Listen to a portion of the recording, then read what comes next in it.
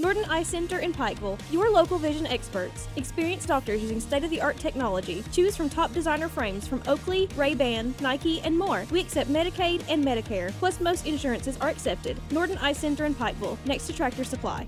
On Monday, October 9th, the City of Pikeville recognized Eastern Telephone and Technologies for their contributions and developments in the Pikeville area. For over 40 years, their business has continued to grow and impact other businesses and the local economy. Eastern Telephone and Technologies President Daryl Maynard shares his thoughts on the achievement. Being recognized here in Pikeville just feels really good.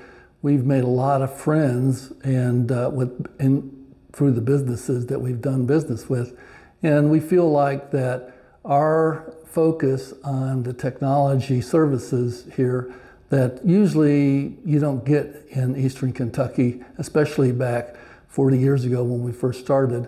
Uh, it just feels good that we were able to try to help keep everybody at the same level of technology uh, as we're in the metropolitan areas all these years. Maynard says the community has given back to him after all his years of service. Moving forward, he wishes to continue improving the region. When I was growing up, my parents and family were from this area, and I remember saying we'd come and visit it all the time because I never lived here.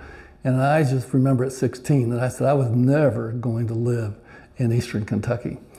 And uh, when I was 21, fate, as fate would have it, I ended up here, and I've been here ever since.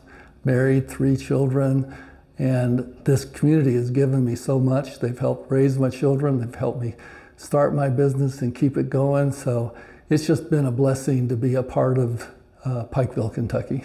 Reporting for Mountaintop News, I'm Nick Collum.